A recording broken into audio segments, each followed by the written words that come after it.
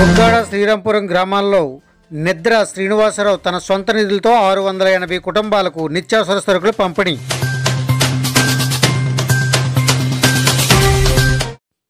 గతంలోనే శానిటైజర్స్ నిమిత్తం ఇంటింటికి డెటాల్ సంపులు పంపిణీ చేసిన నిద్ర శ్రీనివాసరావు.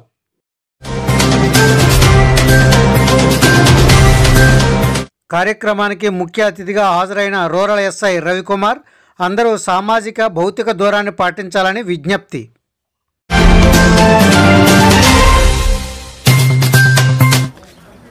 కరోనా వ్యాధి రోజు రోజుకి దావాలంలో వ్యాప్తి చెందుతుంది.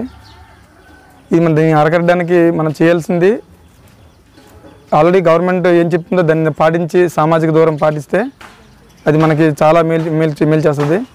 అలాగే ఎవరైనా దాతలు కానీ ఎవరైనా పెద్దవాళ్ళు కానీ ఎవరైనా ముందుకొచ్చి పేదలకి ఏదైనా సహాయం చేయాలనుకుంటే సామాజిక దూరం పాటించి అలా ఇంటింటికి పంచితే వాళ్ళు కూడాను మనకి ఎటువంటి ఇబ్బంది లేకుండా ఎటువంటి గుంపులుగా ఉండకుండా ఇటువంటి ఈ వ్యాప్తి వ్యాప్తి చెందకుండా మనము దాన్ని నివారించ నివారించడానికి అవకాశం ఉంటుంది.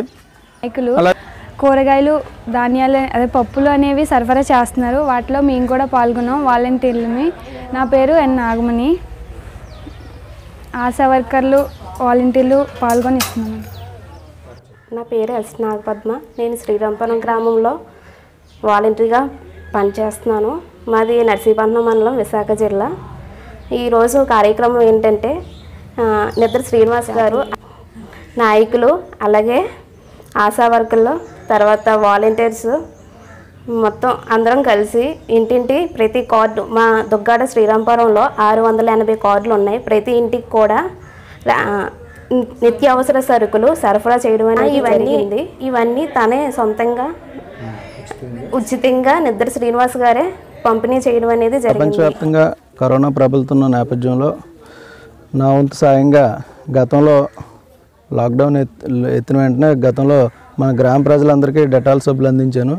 మళ్ళీ నిన్న మన మోడీ గారు ప్రధానమంత్రి మోడీ గారు మళ్ళీ ఒక పదిహేను రోజులు లాక్డౌన్ పొడిగించడం వల్ల ప్రజలందరూ ఇబ్బంది పడతారని నిత్యావసర వస్తువులు దుగ్గాడ శ్రీరాంపురం గ్రామస్తులందరికీ ఒక సుమారుగా ఆరు వందల డెబ్బై కుటుంబాలకి నిత్యావసర వస్తువులు అందించడం జరిగింది. కరోనా అనేది చాలా ప్రమాదకరమైన వ్యాధి. దీనికి సామాజిక దూరం పాటించాలి.